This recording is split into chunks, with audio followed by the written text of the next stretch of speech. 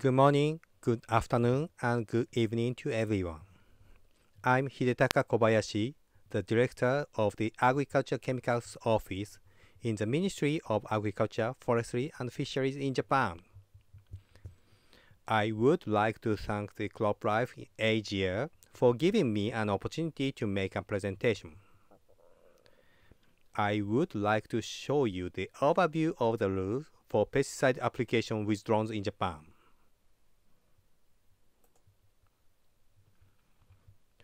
Firstly, I would like to share the current situation of the agricultural sectors in Japan with you because it shows why we need to apply pesticides by drones. This is the statistics of the population and average of age of Japanese farmers. 20 years ago, the number of the farmers are more than 2 million, but now much smaller now.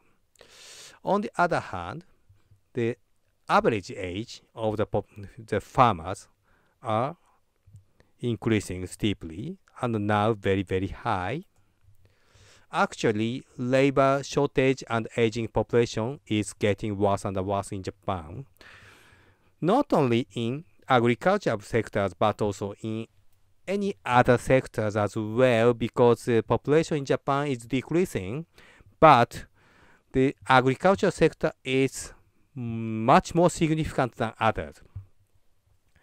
Number and average ages of farmers in 2010 was almost 2 million, but now 1.4 million. So 30% decrease in 10 years. Age of farmers are quite high. Almost 70% of farmers are aged at 65 or more. In that situation, it is important to improve efficiency.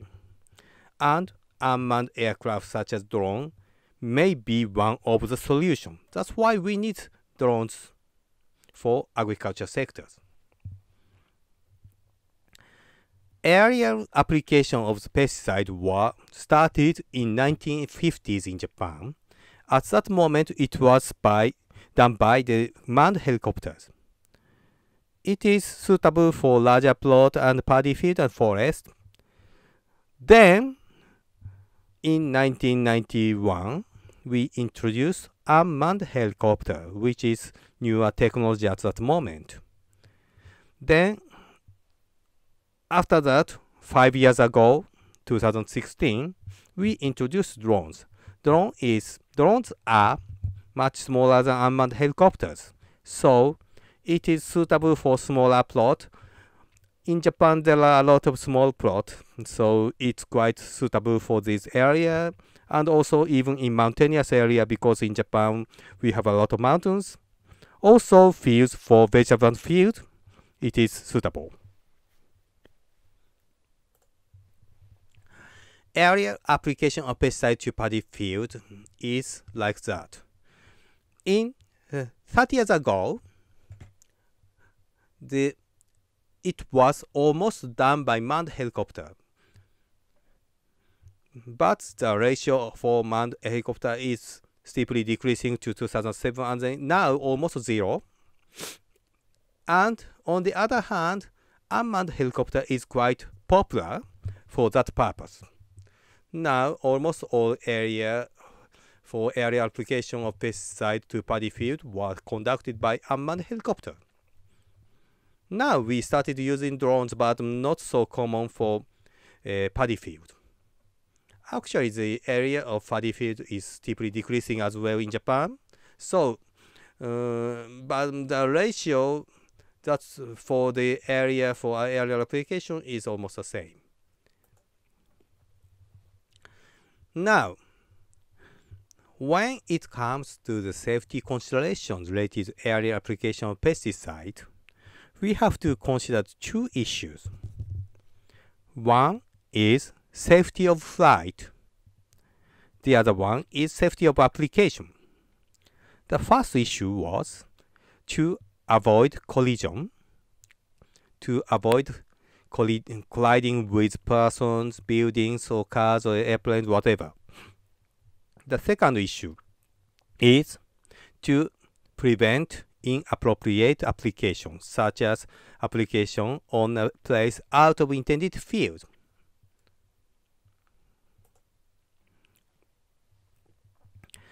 For the first issue about safety of flight, it is covered by the aviation law. Aviation law covers anything that flies uh, like uh, from small drones to big airplane. But anyway, according to the aviation law, generally, you can let UAV fly without any notification to or approval from authorities. This is general rule. But if it is near an airport or above populated areas like Tokyo or at an altitude higher than 150 meters. Then, notification to the Ministry of Land, Infrastructure, Transportation and Tourism is required. Then, if the UAV carries flammable or toxic materials, or if UAV releases anything in the air, or if you let UAV fly out of views of the operator or fly in the night time, in that case, approval must be obtained. Therefore, for aerial application of pesticide, approval of the government, MLIT, is legally required, always required. For approval, what was taken into account? First, the UAV model shall be confirmed by MLIT, the government, for safety flight. Second, operators shall show higher than certain skill or knowledge of flying UAV. So operators has to be experienced and operator has to take training. And a manual shall be created in line with the rule set by MLIT. The rule include that UAV, UAV should be checked daily.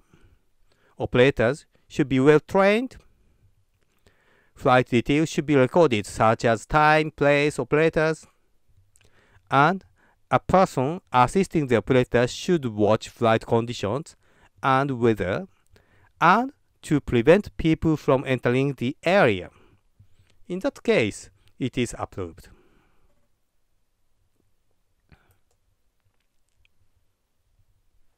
But in some situation, we want to let UAV fly without person assisting the operators. This is a little bit exceptional, but if only if the following conditions are met, it is allowed. First, buffer zone to prevent collision of UAV with persons or buildings or cars, etc. is set appropriately. So what is appropriate? Size of buffer zone depends on the precision of GPS and the intended altitude of the UAV flies. So it's not uh, the unified rule, but it depends on the flying plans and the characteristics of the UAV. Second, adequate measures should be taken to prevent a person from entering buffer zone. Especially it's important for the farming, such as warning sign to prevent people from entering the application area, and notification of the schedule of area application to neighborhood beforehand. And in case that UAV flies out of views of operators or in the night time, flight should be under autopilot control. It's not allowed for manual pilot. Now, uh, we established a new guideline to promote appro appropriate aerial application of pesticide. The guideline is a reference for those who aerially apply pesticide by UAV to use pesticides safely and appropriately. Actually, according to the Japanese law, Article 25 of the Agriculture Chemicals Regulation Law, pesticide users are responsible to prevent damage to crops, human, livestock, environment, etc. So it is the pesticide user's responsibility to um, use the pesticide appropriately. And pesticide users should follow relevant notification by the government or by the local government to use pesticides appropriately and safely. These are the responsibility or duty of the pesticide users. So when planning aerial application of pesticides, pesticide users have to consider are there any plot where aerial application is inappropriate? If the plot is near the houses or public buildings or whatever, it is not appropriate to use uh, the pesticide aerial application of the pesticide is not so suitable. Are workers likely to enter the area very soon? If so, we can choose whether we do not apply the pesticide aerially or to change the worker's schedule or something. Then we need to consider what kind of the pesticide is more appropriate. It means not only active ingredients but also the formulation type is also important.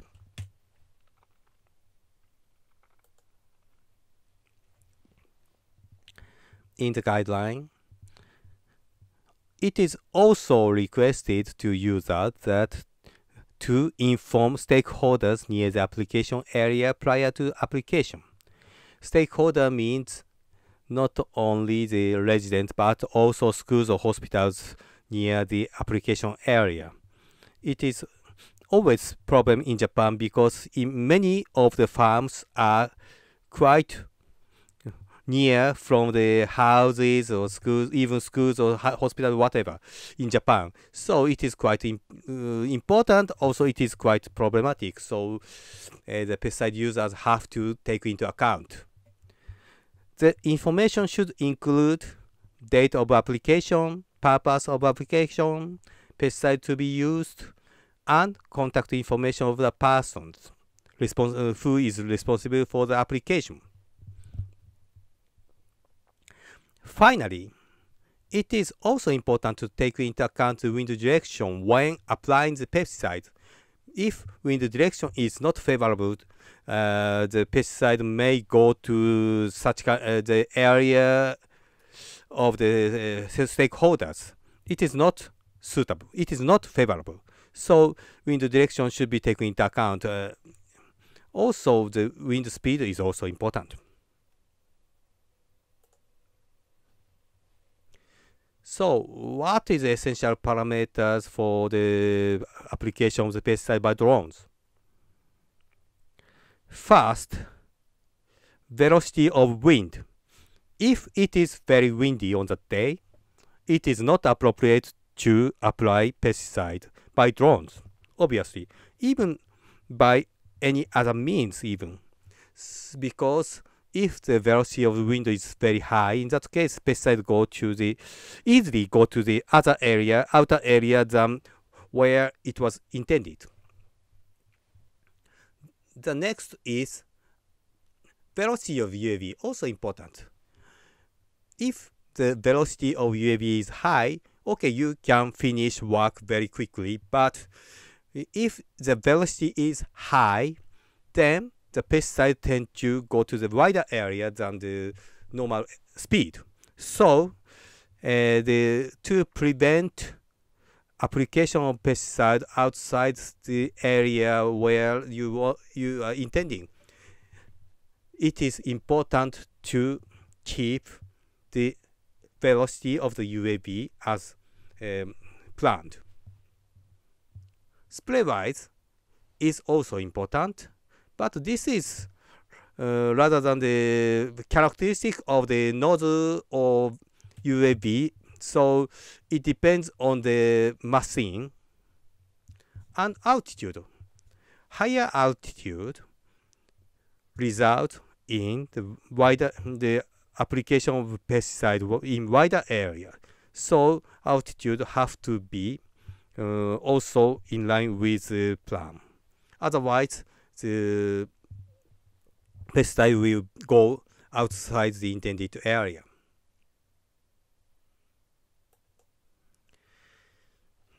The next one is uh, pesticide regulations. In, according to the Japanese regulations about the pesticide, drone is considered as a pesticide sprayer, simply a pesticide sprayer. It means you can use drones because in the pesticide registration, the kind of sprayer is not specified. Just spray, for example, or drench or whatever, is written, registered, but with what measure it doesn't register. So there is no discrimination from other sprayers, like knapsack sprayers or speed sprayers. So you can use drones uh, if you can use the pesticide with sprayers. This is a fundamental rule. So you can spray pesticide from drones according to the registered gap. If you follow the registered gap, crop type, timing, concentration, then you can use drones for the pesticide application. However, generally, current gap may be inappropriate for application by drones because many of the pesticides in Japan, not only in Japan, but also in many countries, in Asian countries generally, dilution rate is very high, like 1000 or 2000 times. It results in high volume of application to the crop area, like uh, 3,000, 4,000, even 7,000 liters per hectare. So drones can carry little amount of pesticide, little amount of something. So uh, drones cannot carry so much amount of the pesticide. So it is better if the pesticide is higher concentration with smaller volume. It is favorable for drone application, but it is not the gap, the current gap in Japan. So pesticide makers may want to change dilution rate in the gap or add a new kind of the higher concentration gap. In that case, the pesticide makers have to request a change of the registration to the government. In that case, the government uh, evaluate the new gap so uh, the pesticide company have to submit the data which is necessary for the evaluation. But as of 2019, if the application rate of the active ingredient is the same as the current registration for efficacy and residue, no additional data is required because these two can be evaluated with the data for original registration because the uh, application rate of active ingredient does not change. So in that case, efficacy and residue are considered to be the same. So it's not necessary to uh, prepare new data for the uh, new gap with higher concentration. On the other hand, for phytotoxicity, it is of concern because higher concentration uh, pesticide may damage the crops. So data is still required, but um, pot trial is okay. Okay, thank you very much for your attention. This is an overview of the uh, pesticide uh, application by drones in Japan. So questions and comments are welcome. Thank you.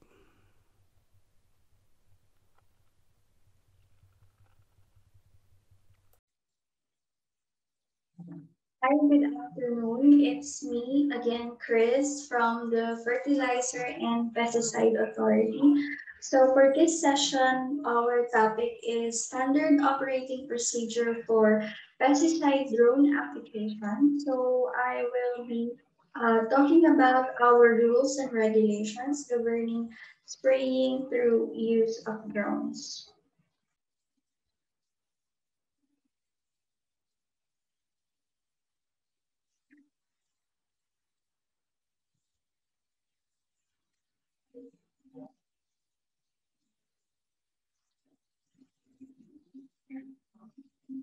So in line with FPA's mandate, our agency is tasked to protect the public from the improper pesticide usage, which presents serious risks to users, handlers, and the public in general because of the inherent toxicity of these compounds, which are also potential environmental contaminants. So FPA has the authority to determine the specific uses or manner of use for each pesticide or pesticide formulation. The agency also has the authority to establish and enforce tolerance levels and good agricultural practices for use of pesticides in raw agricultural commodities.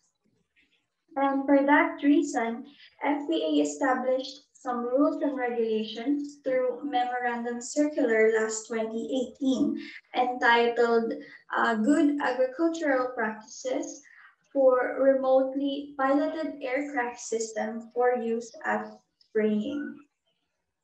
This document contains the rules and regulations governing drone spraying for agricultural purpose the memorandum serves as a guideline for drone controllers and drone operator. With the said purpose, this may also be considered as our safety standard operating procedure. So this memorandum covers all controllers, operators, service providers, staff, pesticide companies, and other individuals or firms who are involved in activities concerning drone spraying of pesticides, including liquid fertilizers. To ensure safety in drone operations, we have few rules that must be practiced before, during, and after every operations. Included in the memorandum are number one, safety and procedures in pesticide drone spraying, safety in handling pesticides, and the post-application practices. For safety in drone spraying operations, First, all drones intended for pesticide application should have global positioning system equipment and other equipment including target flow controllers, and, and flow meters.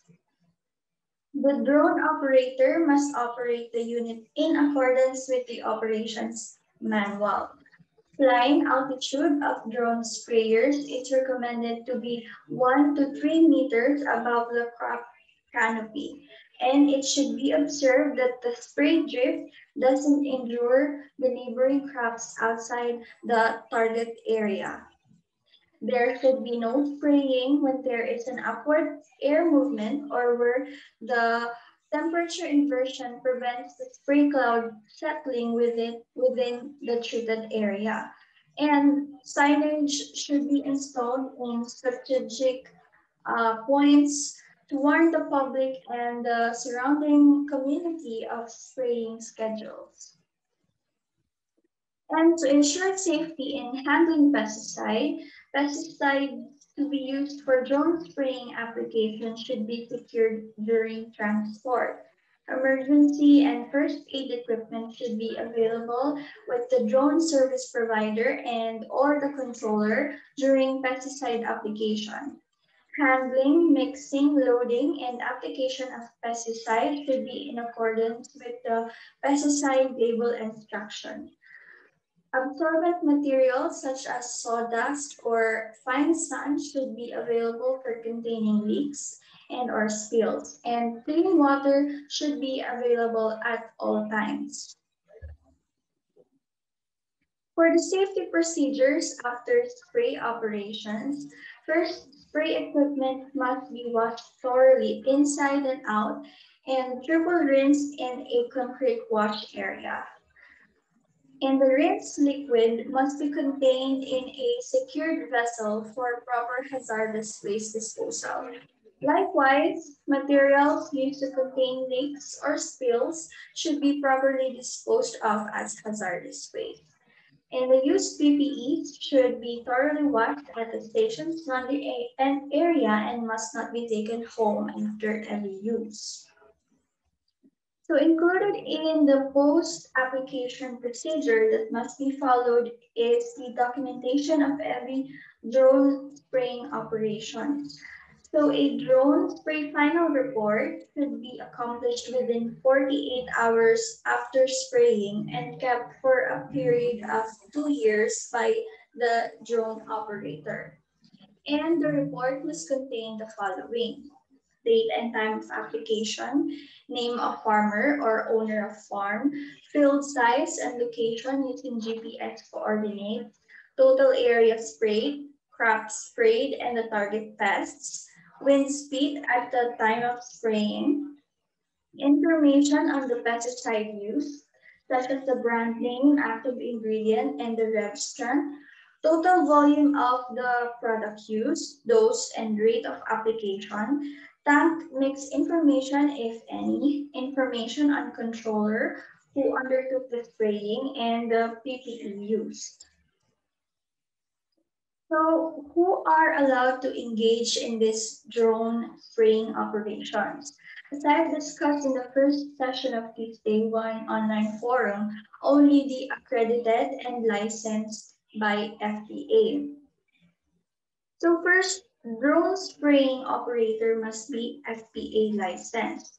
Second, the drone controller must be licensed by GAPAC or the Civil Aviation Authority of the Philippines to operate commercially for pesticide application, and he or she must be an FPA certified pesticide applicator or CPA, hence he or she must be competent and knowledgeable in the use of pesticides.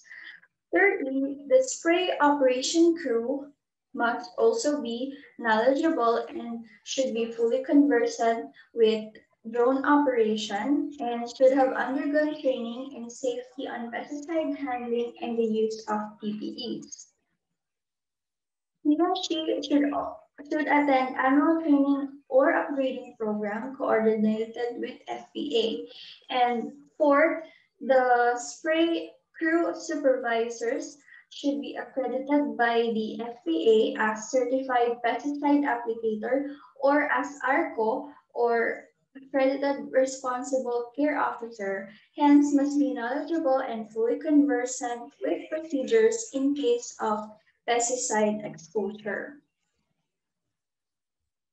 So not all pesticides can be used for drone application. Only FPA-registered pesticide for drone application should be used, and a copy of safety data sheet should always be available in the spray site. Product should be properly labeled and be transported and stored in its original container and package. Container should be all regularly checked for leak and damage. Only pesticides that will be used within the day's operation should be loaded into the transport vehicle and triple rinse empty containers should be disposed of in FPA authorized collection sites.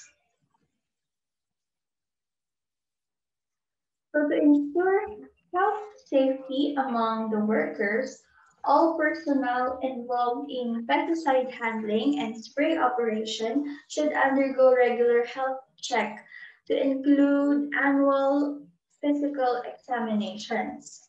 Number two, appropriate PPE should be worn at all times during spraying operations and personal hygiene should be observed.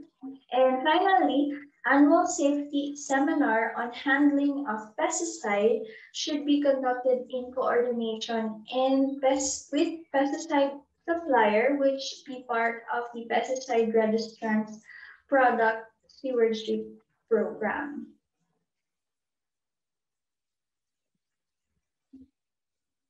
Uh, so we all know that drone is a fast-moving technology that is now being harnessed for agricultural purposes.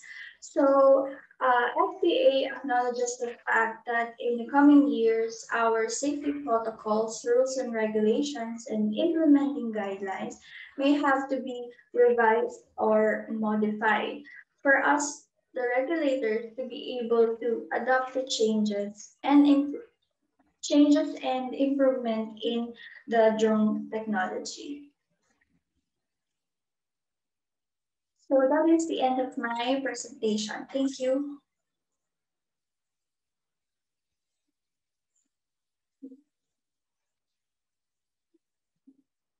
Okay, hello. Uh, my name is Sun Xinyu from Bayer, and I'm based Beijing now and I have 10 years stewardship experience and I had a chance to representative stewardship chair of Crop Life China and the vice director of China Crop Protection Industry Association. And during that time, I had a chance to lead uh, a group, a work group to develop uh, this association standard of drone CPU uh, from 2018 to 2019. So today I'm very appreciative and uh, very happy can be coming back to share the standard to you. And uh, there are three parts I will share you today. And the first is what about the drone stewardship situation uh, currently in China. And the second is to show you a video about the drone CPU. Uh, this uh, looks like a SOP for drone SIP application. The last part, I will quickly show you what uh, we have done in Bayer for promote the CPUs of drone.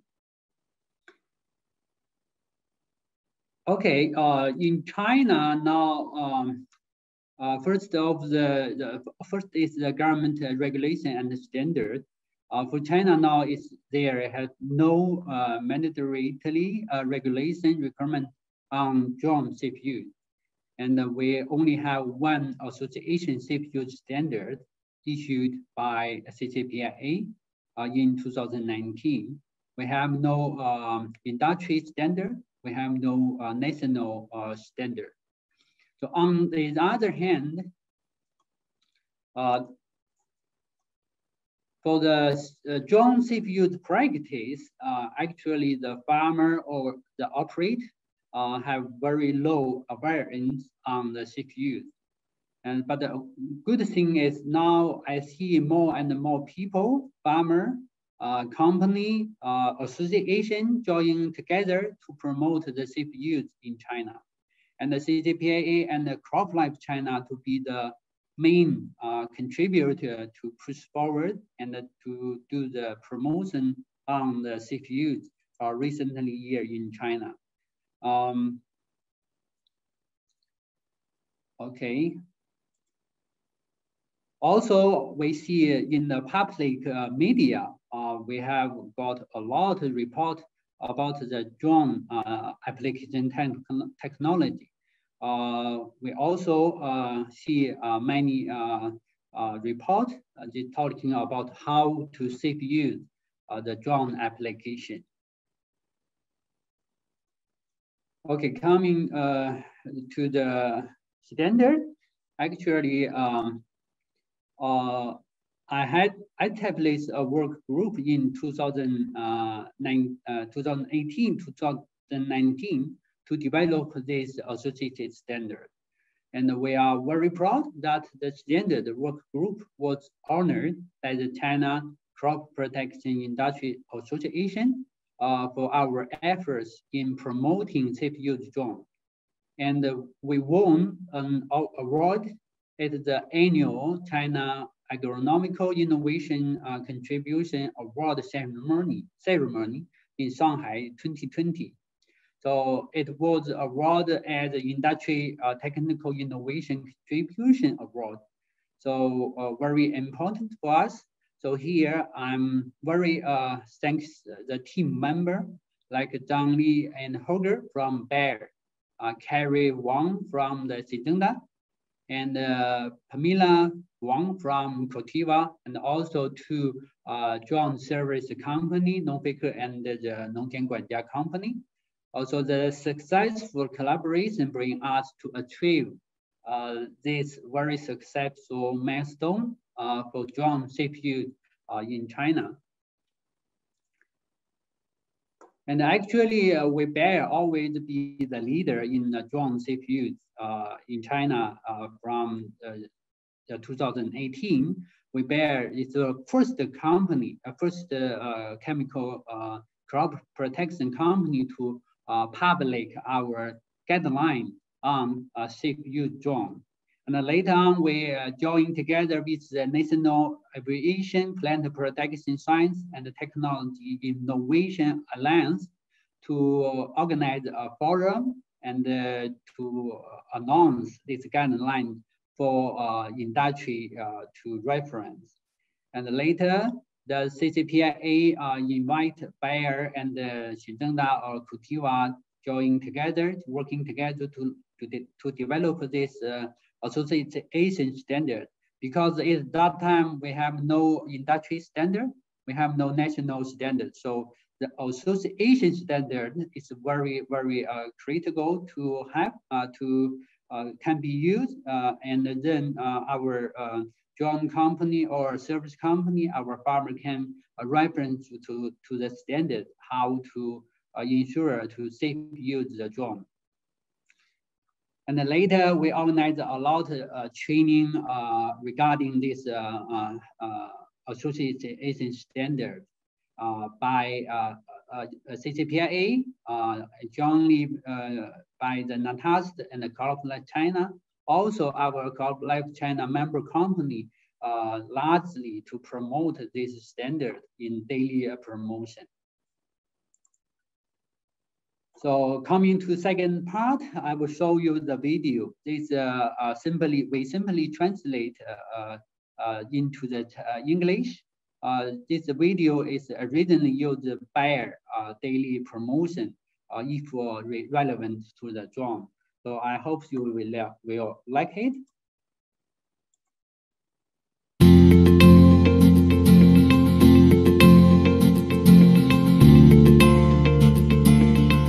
Weather condition and requirement. Wind direction and velocity shall be measured at the height of 1.5 meters above ground. When it is greater than 5 meters per second, no operation. When greater than 3 meters per second, wait until velocity becomes below 3 meters per second. Do not apply chemical during periods of strong winds or before heavy rain or frost. The appropriate temperature is 15 to 30 degrees Celsius, and it is recommended to stay well below 38 degrees Celsius. No spraying during the humidity lower than 50%. In arid areas, it is necessary to make flexible decisions and choose optimum humidity conditions. Role and responsibility of safety manager. A safety manager should be arranged at the site to ensure the environmental safety and the safety of multi-rotor operators, supporting staff and bystanders. Implement emergency action plan in response of an accident. Set up a security cordon or warning sign at the scene to ensure the safety of visitors and bystanders. 4. The operation team. Multi-rotor operators and supporting staff are responsible for multi-rotor operations to ensure the safe use of plant protection products. Multi-rotor operators are required to be trained and licensed and understand the law and regulations where they operate. The operation team is required to take part in safe use of pesticide training and obtain certificate. Get advice from plant protection companies for safe medication before operation. It is necessary to have common sense and ability to deal with pesticide poisoning accidents.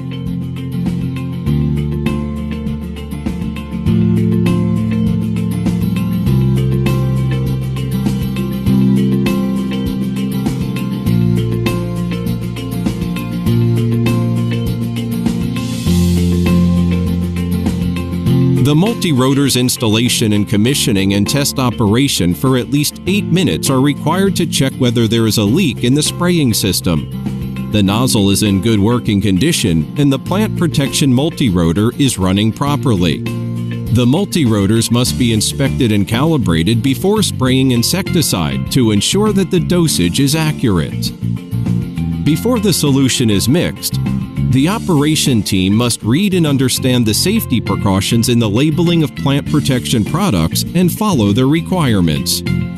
Two-step dilution and triple rinse of empty containers are standard operating procedures. Takeoff operation. Double check the weather condition before takeoff.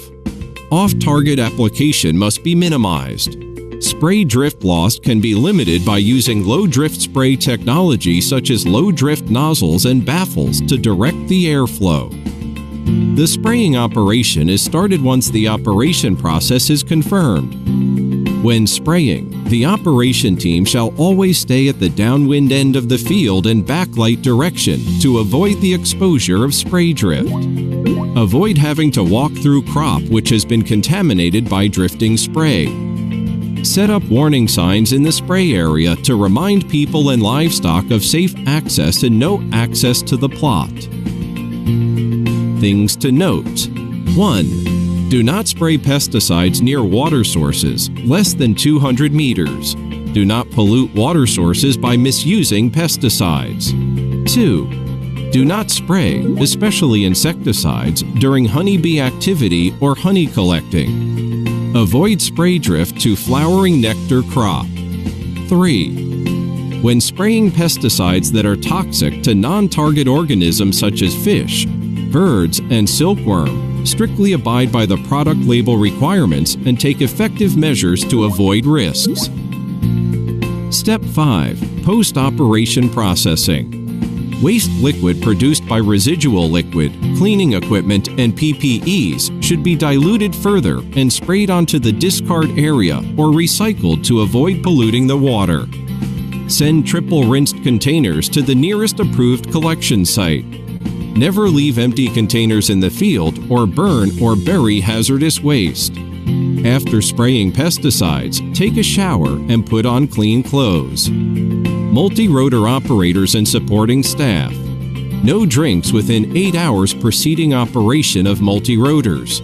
Timely evacuation once the operation is completed. Timely cleaning body parts exposed to pesticides before drinking, eating, and smoking. Careful cleaning with focus on face, eyes, mouth, nose, and hands.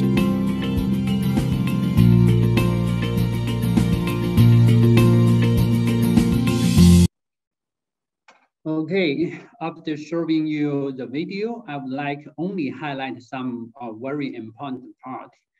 Uh, firstly, it's the role and the responsibility. I strongly recommend uh, there is one uh, people or one staff to be responsible for the safety during the application. Since drone application sometimes uh, usually uh, have two people working here. So one people responsible for the operation, and other people should be take care of the safety, uh, include human safety, I mean operator safety, and also include the environment and the crop safety. And uh, uh, for the weather condition, uh, I think all we know the weather condition is very, very important. And the weather always be the driving factor um, on the safe use of drone, especially for the wind speed. Uh, we recommend is less three uh, meter per second uh, should be better for drone safe use, especially to manage the drift issue. Uh, for other part, um, I think it's a uh, it's similar like we use the conventional uh, application uh, technology, uh, like we buy uh, the product or transport and the storage temporarily of the product. It's completely same as we use the backup spray or boom spray, where PPE, glove, and we how to manage the empty container triple rinse and manage the container properly and washing hand or have a shower after the application. nothing special, um, but it also uh, should be take uh, take uh, care about your operator safety and environment safety. Um, uh, for the PPE, I would like to highlight that the, the helmet should be uh, mandatory for drone operator and uh, navigator or some people closely uh, want to close the observe the drones uh, application. Um, for other thing, for the environment safety, uh, okay, I think uh, for the stealth mitigation is similar, but uh, for if you use drone, you especially to take care of the bee uh, issue and the aquatic issue, uh, for use some herbicide or some product very toxic to bee or very toxic to aquatic organism, you should be very, very uh, careful uh, because the drift issue is uh, high. So you should think about, uh, think about how to manage the drift issue, like use the low drift nozzle or add some, uh, add some adjuvant uh, or slow uh, the uh, speed or lower the application high. anyway, you should think about how to manage the drift issue if you use the drone. It's very important. And the last part, I would like uh, quickly show you how what we have done in Bayer for the promote the drone CPU. Uh, actually, in the past three years, we have do a lot of activities.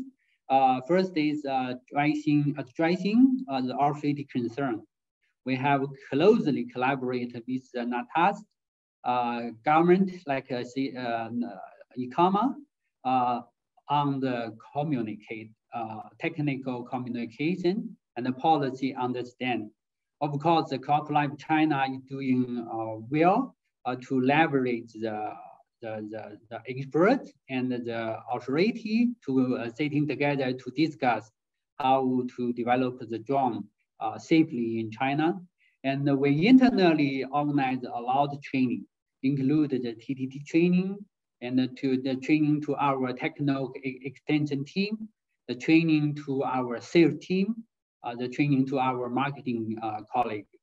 And also externally, we have organized a lot of programs together with uh, CCPIA, CropLife China, and NATAS, uh, ICAMA, um, to, uh, to promote this uh, safe use. Also, we are training a lot to our uh, partner, like uh, our dealer, our uh, retailer, and uh, also included the training to our uh, partner like a, a drone uh, company and a service company. we always think about think about how to use this kind of technology safely, uh, not only uh, for the product selling, but also ensure this uh, business uh, going on the safe, safe way and the sustainable way. Uh, some pictures to show you about uh, our activity, like the farmer training, uh, the forum together with the uh, uh, government or association, and also include our sales team training trainer program. Okay, that's all about today. my association standard. And uh, thank you all. Uh, if you have some question, we can discuss later.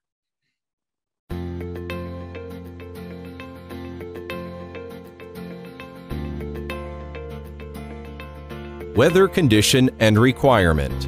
Wind direction and velocity shall be measured at the height of 1.5 meters above ground. When it is greater than 5 meters per second, no operation. When greater than 3 meters per second, wait until velocity becomes below 3 meters per second. Do not apply chemical during periods of strong winds or before heavy rain or frost. The appropriate temperature is 15 to 30 degrees Celsius, and it is recommended to stay well below 38 degrees Celsius. No spraying during the humidity lower than 50%.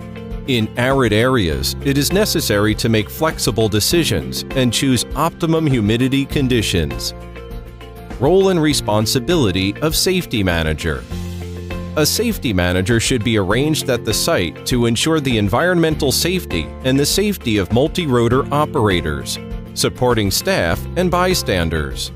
Implement emergency action plan in response of an accident. Set up a security cordon or warning sign at the scene to ensure the safety of visitors and bystanders. 4. The operation team. Multi-rotor operators and supporting staff are responsible for multi-rotor operations to ensure the safe use of plant protection products. Multi-rotor operators are required to be trained and licensed and understand the law and regulations where they operate. The operation team is required to take part in safe use of pesticide training and obtain certificate.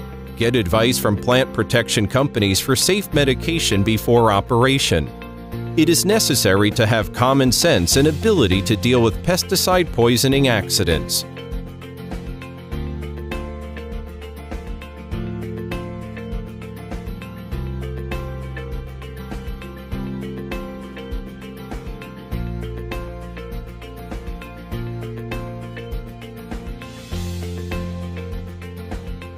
The multi-rotors installation and commissioning and test operation for at least 8 minutes are required to check whether there is a leak in the spraying system. The nozzle is in good working condition and the plant protection multi-rotor is running properly.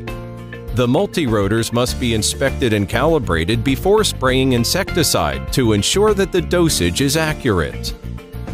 Before the solution is mixed, the operation team must read and understand the safety precautions in the labeling of plant protection products and follow their requirements.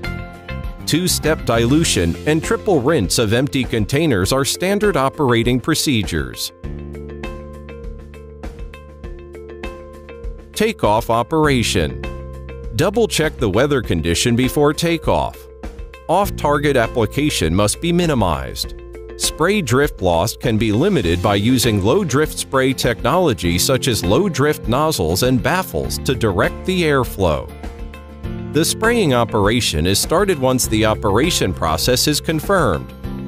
When spraying, the operation team shall always stay at the downwind end of the field and backlight direction to avoid the exposure of spray drift. Avoid having to walk through crop which has been contaminated by drifting spray set up warning signs in the spray area to remind people and livestock of safe access and no access to the plot. Things to note 1. Do not spray pesticides near water sources less than 200 meters. Do not pollute water sources by misusing pesticides. 2. Do not spray, especially insecticides, during honeybee activity or honey collecting. Avoid spray drift to flowering nectar crop. 3. When spraying pesticides that are toxic to non-target organisms such as fish, birds, and silkworm, strictly abide by the product label requirements and take effective measures to avoid risks. Step 5. Post-operation processing. Waste liquid produced by residual liquid, cleaning equipment, and PPEs should be diluted further and sprayed onto the discard area or recycled to avoid polluting the water. Send triple rinsed containers to the nearest approved collection site. Never leave empty containers in the field or burn or bury hazardous waste. After spraying pesticides, take a shower and put on clean clothes multi-rotor operators and supporting staff. No drinks within 8 hours preceding operation of multi-rotors. Timely evacuation once the operation is completed. Timely cleaning body parts exposed to pesticides before drinking, eating, and smoking. Careful cleaning with focus on face, eyes, mouth, nose, and hands.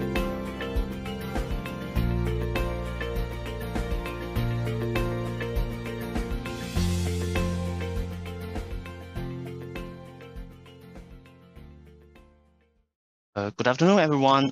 So it's my pleasure to share with you the uh, safety considerations in best practice for uh, UAV-based application.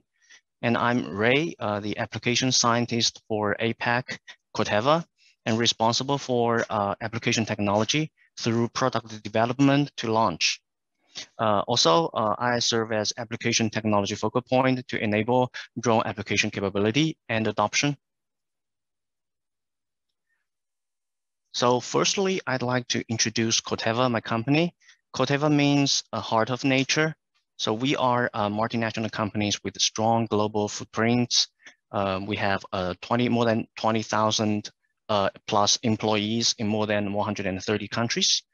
We have a broad offering with more than 65 active ingredients and strong presence in world's uh, major agriculture areas. Our purpose is to enrich the lives of those who produce and those who consume, ensuring progress for generations to come. And when uh, we talking about a safety in UAV-based application, so um, the UAV operator uh, may uh, also may include observer per requirement is the one to uh, observe and also implement safety precautions regardless how well uh, developed the UAV system and automation. So that means um, a, U, a UAV operators is required and also is responsible for the uh, safety Successful uh, spray application starts uh, with a well-trained operator and uh, to use proper judgment on sensitive crops. For example, um, uh, sensitive crops downwind and also the wind limits is critical for the operators. That is to say, they need to have proper judgment on a field condition and also um, uh, follow pre-flight checklist, such as uh, crew briefing uh, of the operation and ensure uh, spray equipment is well calibrated and well connected to the uh, remote control is very important. And also to, uh, for example, checking area for non-participants and the potential hazard. And it's also re the responsibility for the UAV operators to observe the spray equipment uh, is working properly during each flight.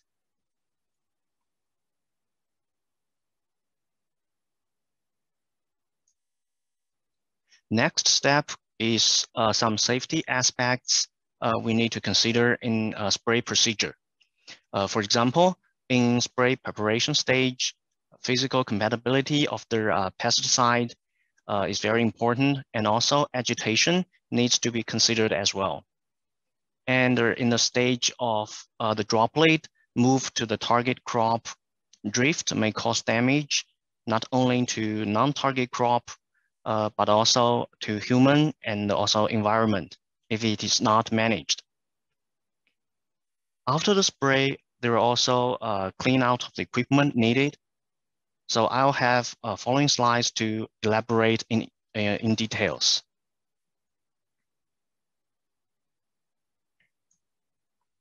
So talking about uh, physical compatibility, uh, you know, the pesticide concentration is higher than uh, conventional knapsack. For example, uh, normally it's 30 to 45 times higher than uh, knapsack. So more uh, potential risk of incompatibility because um, people are using it at a very high, high concentration level. And also the tank mix compatibility for knapsack would be uh, uh, incompatible at the drone dilution rate. And the second point is uh, physical compatibility may cause like precipitation, flocculation, and also persistent foaming. As shown in the below picture, we can see that because of incompatibility, the uh, precipitation formed. And when we dump the uh, uh, bulk into, into a paper cotton, we can see that a lot of the chemicals are precipitated at the bottom. And also we can uh, see that from the picture failed to do so, uh, the blockage of the uh, sieve is observed. So this will block the filter, for example, also stress the pump and leads to non-uniform spray. It uh, poses potential safety risks in the operation. And the physical compatibility is critical in, prepare, uh, in preparing spray mixture, uh, physical compatibility and sprayability. I uh, prepare spray mixture.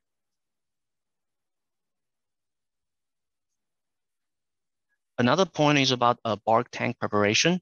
It is common for operators to prepare bulk uh, dilution for whole day spray, for example. So they can uh, take a portion out and load it to drone tank for each flight. However, uh, there's a, a, lack of constant agitation in the bulk tank. Uh, you can you can see the below picture. Usually they just use the bulk tank and there, uh, there's no uh, agitate agitation mechanisms. So dilution may precipitate after long standing time, causing uh, blocking or AI unevenness in the spray, as shown in the right uh, photo, uh, showing that uh, there's a sediment at the bottom. So uh, that means the AI is not evenly distribution uh, distribute in a spray solution. And it is typical situation for AC and WG formulations because of the particle size uh, deposited materials will uh, resulting, for example, low AI rates and inconsistent uh, product performance in the field. So uh, in this part, constant agitation during the operation by machine or thorough res uh, resuspension manually is required.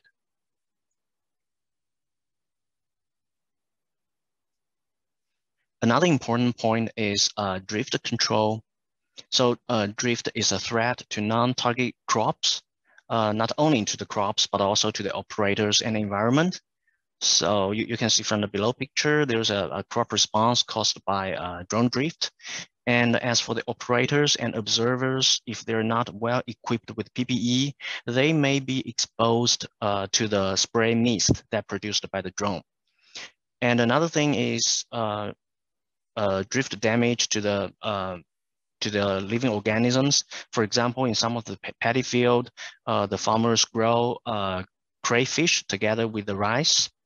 And in this case, if the pesticide that is toxic to the uh, crayfish drift to the adjacent field, uh, the living organisms may die. And the second point is to um, identify variables that related to drift. For example, the droplet size, the flying attitude of the UAV, and also the wind speed uh, as well as operators, of course, are key factors influencing uh, drift. So mitigation is needed for spray uh, products of drift risks. And also um, it is um, for the operators to keep that in mind and also to take necessary uh, precautions and uh, measure measurements.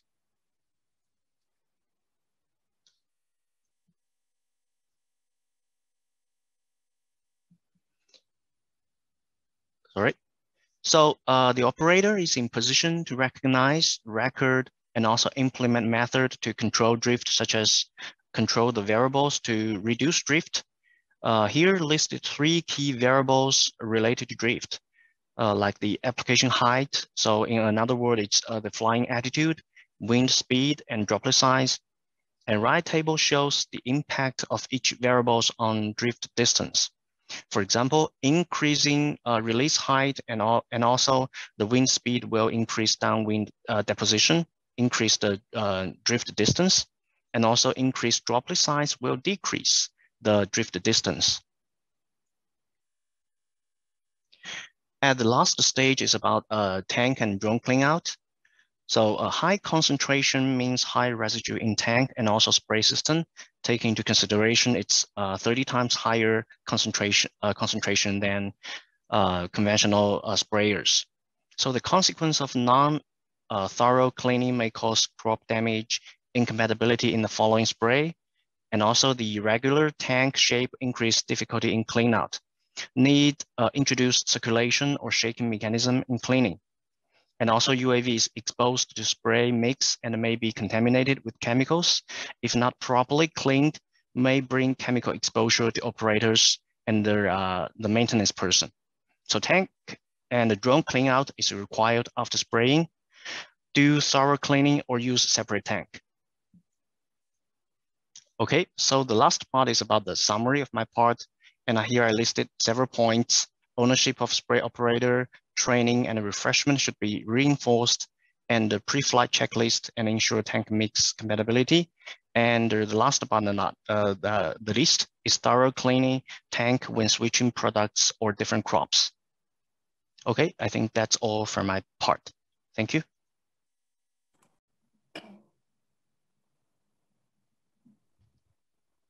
Good afternoon, everyone. I'm Pamela Wang from Corteva. I'm field scientist and uh, Asia Pacific Coordinator of Joint Application Digital Agriculture of Integrated Field Science. It's great pleasure for me to introduce techno technical feasibility exploration of Corteva products by joint application. Uh, what we did in terms of joint application. As a world-leading agrochemical company, Corteva is endeavoring to explore our products by joint application since 2016. Uh, we are trying to provide robust and scientific best application practices to growers by solid field trials, and by deep collaboration with industrial government leading scientists, and by deep understanding new technology. We are trying to push forward the healthy food development of joint application and thus to push forward precision agriculture and modernization of agriculture by providing outstanding products and new technology to farmers. So we explored technical feasibility of our products by joint application. We generated best application practices for several products. We generated and published national general standards by jointly cooperation with CCPIA. And we held joint application workshop and training, not only at country level, but at regional level. And also we gave public trainings by cooperation with DJI and XAG. In terms of technical feasibility exploration, we evaluated and confirmed the technical feasibility by joint application for Acanthawae on rice and wheat, for Park salt on rice, for Rinskor on rice, for Zorvec Encantia on potato, for Delegate on corn and for Quelex on wheat since 2016. We proved that all products showed very good technical feasibility by joint application based on two to five years, more than 180 internal field trials, and deposition and drift study by cooperation with leading universities. Now I will give you several examples of the performance of drone application. The first is Quelex against wheat weeds control. As you can see, Quelex by drone application showed very good performance, and it is uh, comparable with backpack application, and this is untreated check. Similarly, we can find that Acanthawae showed very good field performance against rice full smart control by drone application, which is comparable to backpack application. And Similarly, we, we found Zorvec Encantia showed very good performance against potato late blight control by drone application, which is comparable to backpack application two. For delegates, it's spinetoram. Spinetoram by drone application still showed very good control efficacy against corn for armyworm control, which is also comparable to backpack application. So based on those trials, we proved all the tested products of Corteva showed very good technical feasibility by joint application, and it is comparable with backpack application. But we also found that best efficacy performance can be achieved only if farmers can follow our technical positioning and other direction for use strictly when they're using our products by joint application. So in order to ensure farmer can use our products effectively and safely and correctly. So internally, we generated best application practices on Acanthawae in Kentia and Quelex in China. Externally, we jointly generated, participated, and published corn, wheat, rice, and other general national guidelines by cooperated with CCPIA and other MNC companies. And for Corteva, we lead the corn general national standards. Now I will take Zorvec Encantia as an example to, introduce BAP, which we generated.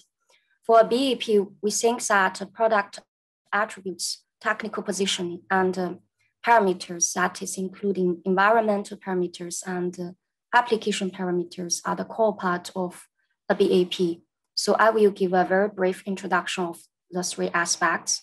First, the product attributes, why Zorvec Encantia can show very good technical feasibility by drone application.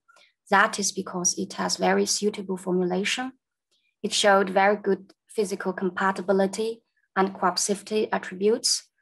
It has very good and superior and intrinsic systemic activity, which can ensure full protection to crops um, and uh, ensure superior rain fastness and uh, can also protect the new growth of plant. And also we proved that uh, Zorvec Encantia can show very good performance without uh, adding, adding some classic adjuvants. Besides product attributes, technical position is also very important. Farmer needs to strictly follow technical positioning to ensure the best performance. So for Zorvec Encantia, it should be applied at 165 GH with two to three preventive applications at seven days interval. And uh, probably start the application at first vegetative growth stage and or row closure stage, which is about 25 to 40 days after uh, seedling emergence stage. Now I will talk about the recommended parameters environmental parameters, and flying and equipment setup parameters. We are recommended to using our products at the feasible wind speed, which is less than three meters per second, and avoid to apply when there's no wind too. Um, and avoid to apply Zorvec Encantia when the relative humidity is low and temperature is high, and also and, and the same to other unfavorable conditions. We recommended the water volume is larger than 22.5 liters per hectare. And uh, we recommended to use representative and newest type of drones from DJI and XAG to do the application. And for the flying height, flying speed, swath width, uh, recommended is follow the recommendations from drone manufacturers, but use slower speed and use narrow swath width for the flying mode, autonomous flying mode is preferred, or the M plus mode is secondary preferred on the tomato on the potato light control. Others is that avoid the missing application, follow the correct tank mixing procedure, and follow the correct rinse um, procedure. And after the application, proper record for the application information is needed, and highly skilled pilots is uh, recommended to be used. Besides the technical feasibility exploration work, I will take one minute to highlight other activities which Corteva did. As I mentioned just now, we held Asia Pacific and uh, several countries joint application workshop from 2019 and 2020. We will continue to do this work. We discussed the development status, existing problems, and development directions of UAS application technology from the perspective of technology, policies, and market. Also, we licensed and trained pilots in several countries by cooperating with DJI. Take Yufeng Ying, the joint drone application training in China as an example. We licensed more than 30 pilots at a time in 2019. We also held public trainings or classes by cooperated with DJI and XAG since 2018. Professional plant protection knowledge and drone application knowledge was, uh, um, was, was uh, introduced. And also we published our drone application brochure in last two years. Finally, I want to take a moment to introduce recommendations for UAV operator training and certification requirements, which were generated by CropLife Asia. Thank you, CropLife Asia, give me the chance to introduce this. This guidance document aims to provide recommendations on the knowledge and skills required of the operators to be licensed to operate pesticides application safely and effectively. In the SOP, key training topics are listed like laws and regulations, operational technician, technical knowledge, SOP for safe pesticide application, and pesticide knowledge. I think it's a very good reference and a very good SOP, which can provide strong technical guidance to farmers and industrials. So that's all. Thank you. Hello, everybody. This is Zheng Ya uh, from Momentive. Uh, uh, I am an advanced uh, application development engineer in agriculture. Uh, I'm from Momentive. Momentive is a global leader silicon companies. Uh, for today, I will introduce the topic the challenge we face in the drone spread. So I will share my screen. Okay, share my screen.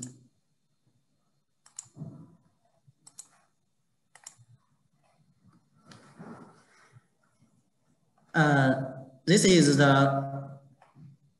uh, my screen. Uh, can anyone can see it? Okay. Yes. Uh, before I introduce the, the uh, topic today, I would like to give a very quick brief introduction of Momentive's agriculture uh, business in China. Um, Momentive is, uh, just as I said, is a global leader in silicon technology. We have, uh, we are transferring from uh, GE Toshiba and uh, Bayer Silicon, OSI Silicons together. So we have uh, 60 officers in 25 countries. Um, and for the agriculture, we have nine factories. Uh, in China, we are in Nantong, uh, Jiangsu province. Uh, here is the global leader uh, position. We are uh, on the market. For example, in quartz, we are the number one leader in the quartz business. And for the uh, others, uh, for example, for the silicon, we are the number two, and for some others, we are uh, leading the marketing, marketing for the uh, over 80% of its revenue based on those uh, uh, leading uh, market positions. Here is our diversified customers. Through this, you can see uh, we our customer is not only from agriculture, but also for example, the personal care, P&G, and some industrial, 3M, and others. So, so then you also can hear that silicon is a, a vitamin for um, the industrial. So our customers uh, is very diversified. It is in all, in all the global uh, footprint, uh, in all the global, you can find our customers. Uh, here is the global trend as we are doing the um, fact, uh, we are focused on the agriculture. We do that with the population continuous growth from 17 billion to 90 billion uh, by the end of 2050.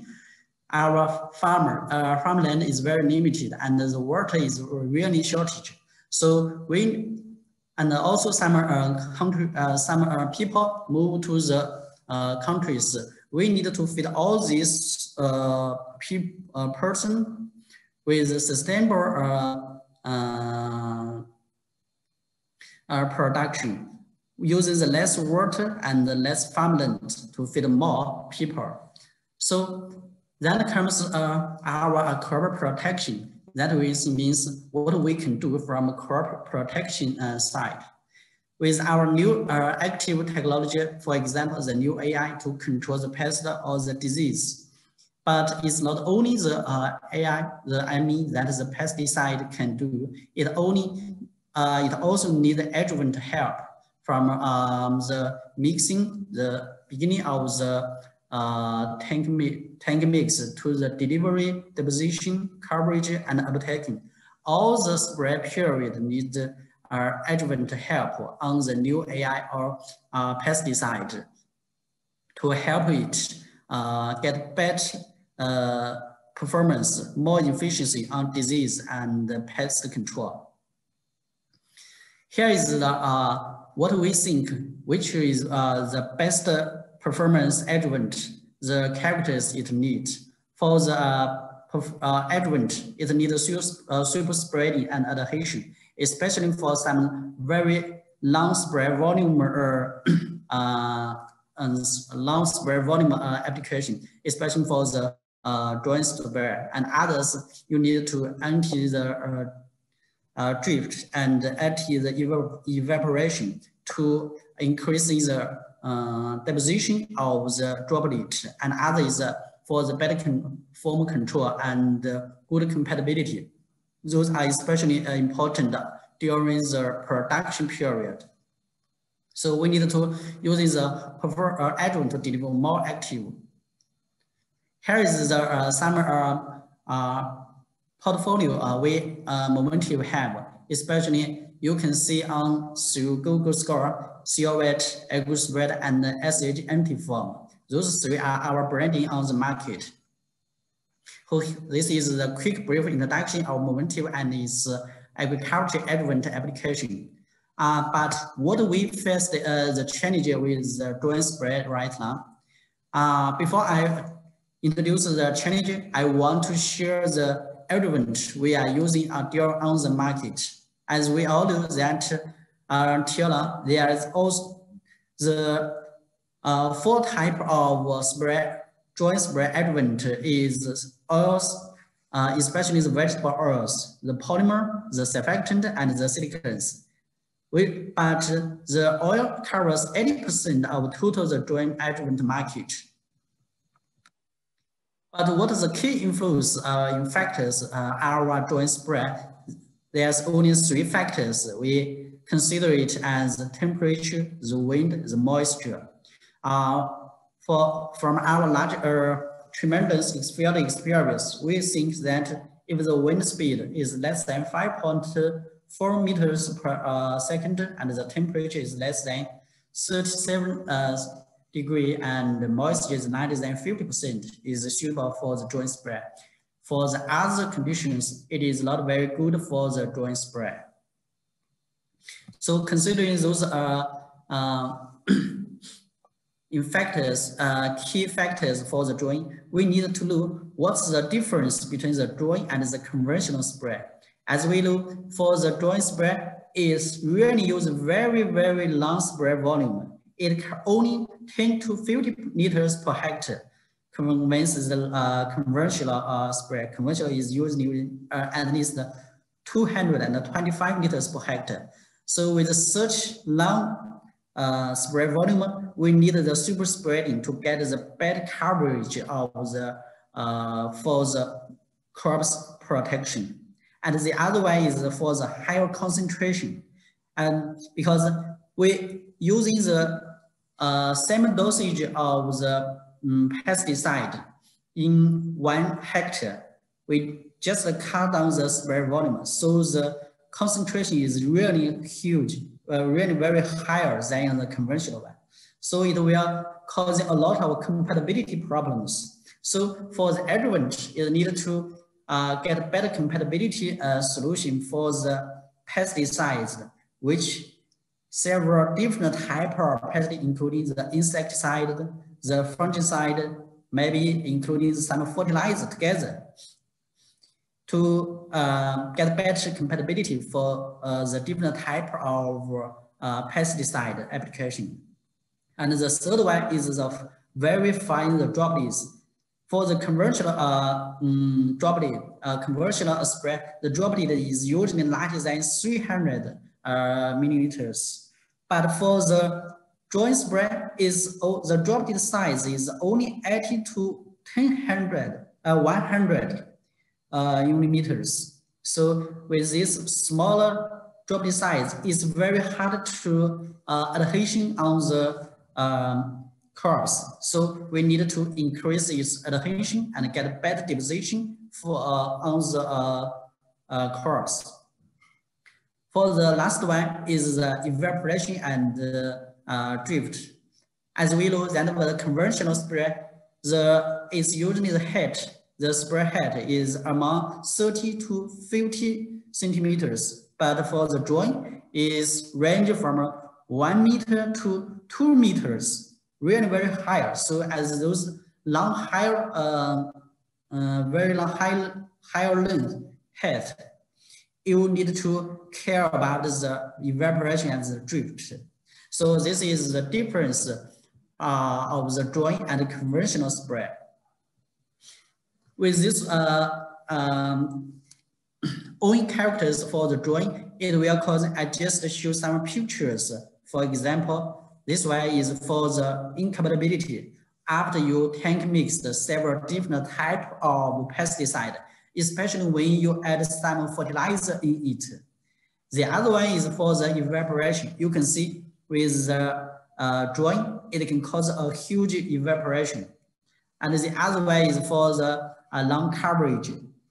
We add some dial in the pesticide spray. You can see it very clearly on the rice leaves. You can see the coverage is uh, very long, just a, a few just a few dens uh, the density is very long on the rice leaves. But also if you spray some herbicide, you can find that it can cause some drift. See this picture shows the drift uh, uh, the drift on the lot, uh, lotus leaves. It can cause very serious phytotoxicity. So with those challenges of the joint spray, we need what is the key requirement for the joint spray adjuvant. First one is to get better compatibility. Just as I said, the farmers that don't use a single single pesticide to spray, they use uh, at least three, five, even uh, more than five different type of pesticide tank mix to get uh, once a time. So you need to, the adjuvant can adjust the compatibility of those different type of pesticide. The other way is for the anti-evaporation and anti-drift. You need to increase the adhesion uh, get better, uh, increasing adhesion, get better deposition. And with super spreading, you can get better coverage. And the other one, control the uh, penetration. As we know, some pesticides have good, uh, have poor penetration. With adjuvant, you can get better penetration. So what we really need the adjuvant to do is to increase the pesticide efficiency and ensure the performance during the joint spray. So for the uh, adjuvant performance, uh, just as I said, what we need the adjuvant performance, the anti-evaporation, the anti-drift, and the, the get the better coverage, um, get uh, improve the compatibility. Those are the adjuvant performance during the joint spread. So let's see some examples. Here is the compatibility with our uh, product COVET R16. You can, from this picture, just 20 minutes after tank mix. Uh, for example, I just give one example. This, uh, look my, and my mouse. Here is without COVET, uh, COVET R16. This one is uh, with uh, COVET R16. You can find a lot, some uh, suspension suspension after uh, tank mix.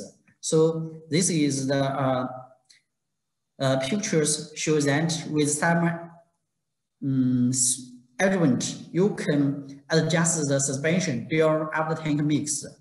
So I prepare some uh, videos for uh, for the uh, online congress. You can find it very clearly. We just using the uh, pesticide, uh, fungicide plus with the water, and then some one is uh, with COVET R16, the other is without COVET R16. We can find that with COVET R16, the suspension is uh, better than the, the one without uh, COVET R16.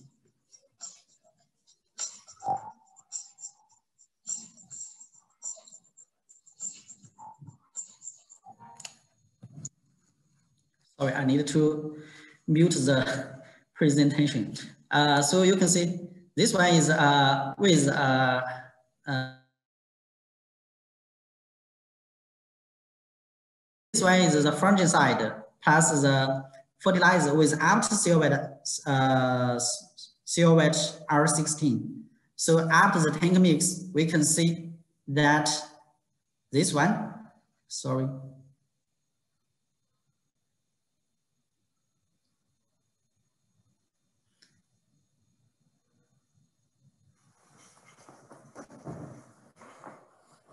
we can say that uh, without Silwet R60, its suspension on in the uh, its, its suspension, you can see it quite clearly. But uh, here is with R60, is the suspension is very well.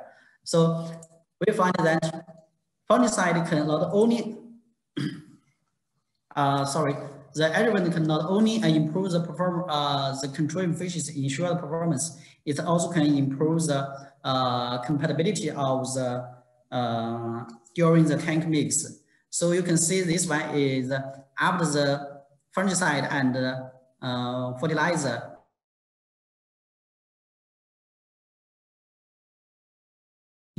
You can, see after a little shaking, you can find that the suspension is the same as the previous one.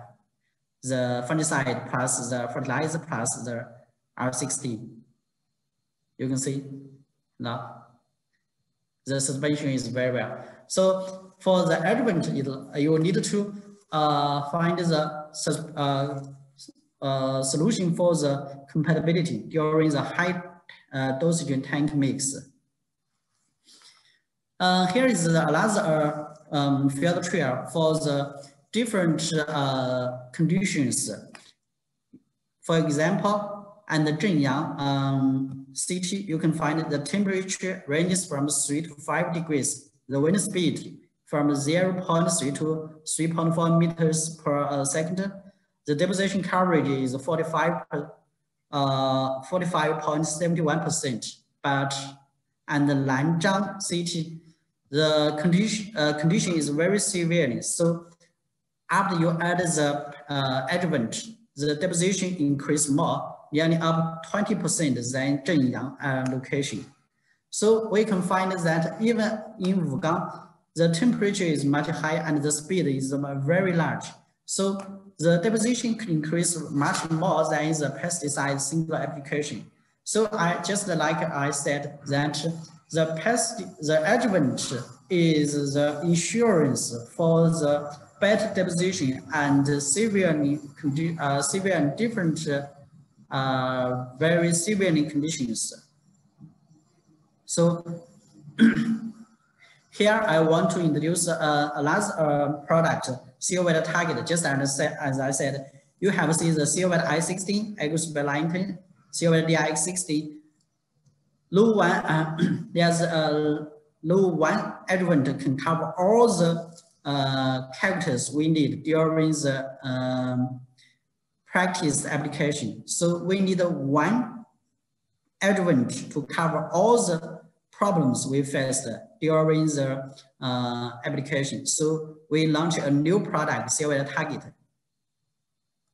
Here is some uh, particle size we tested in the lab. You can see for the water single application, the DV15 is very uh, small, but when you add the Silwet Target from 0.1% to 1%, we can increase the DV15 uh, uh, very uh, significantly than the water single application.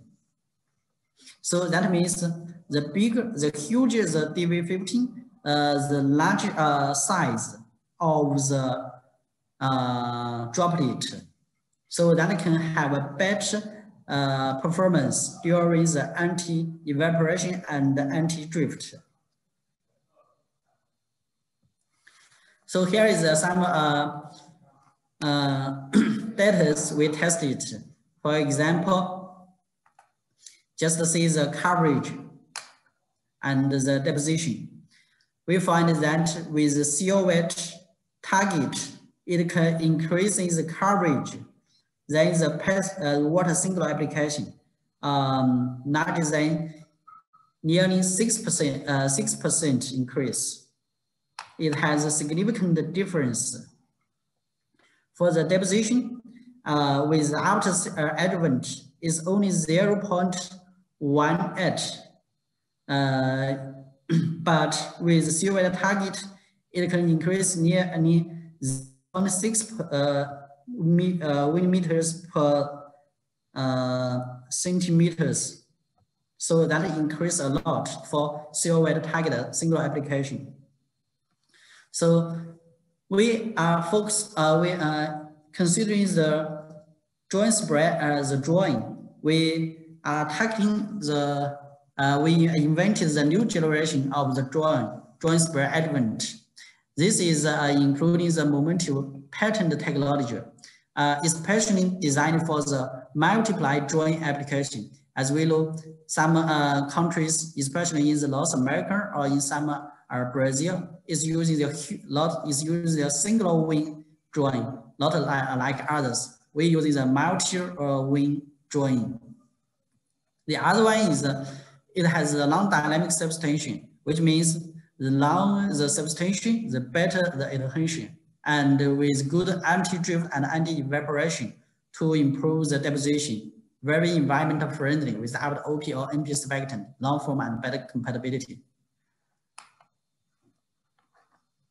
So the, uh, the last one is uh, the conclusion. The adjuvant can do. The adjuvant you are using on the drone spray is to ensure the quality of the spray, which means increasing the droplet size to get better uh, uh, anti-evaporation and anti-drift. And another one is ensure the performance of the pesticide and very severe conditions. So using the uh, adjuvant, it can make the spray quality much better and get the better performance uh, for the pesticide. So this is all for my uh, presentation. Thank you. If you have any question, we can discuss it on the line or you can phone me. Thank you.